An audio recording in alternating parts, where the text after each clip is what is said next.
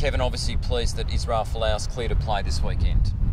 Nick, I think it's a common sense uh, decision, really. At um, looking back on, uh, you know, the, the, both incidents were um, very, very grave, and uh, probably, if anything, you border on soft.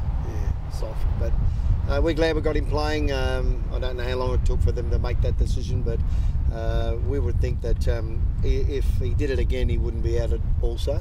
So I think that's always what you look back on. Say, you know, that happened again to anybody in the AFL.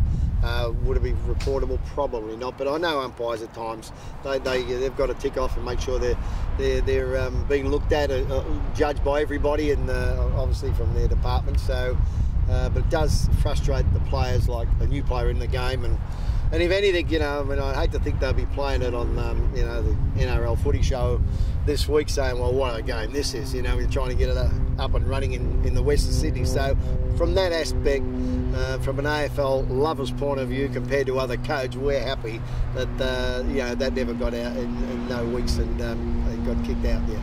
Were you ever concerned at all? Personally, no, but I mean, you just don't know until a judge makes the decision on any case uh, going out. But, um, you know, I probably most of the football department uh, felt that way. But I've been, you know, many years at Essendon, and I thought, you know, when some of the boys got outed, it was uh, I thought they were a bit hard sometimes, and um, sometimes you might have thought, well, you're lucky you only got one or two. What does it mean for the game for Israel Folau to make his debut this Saturday night?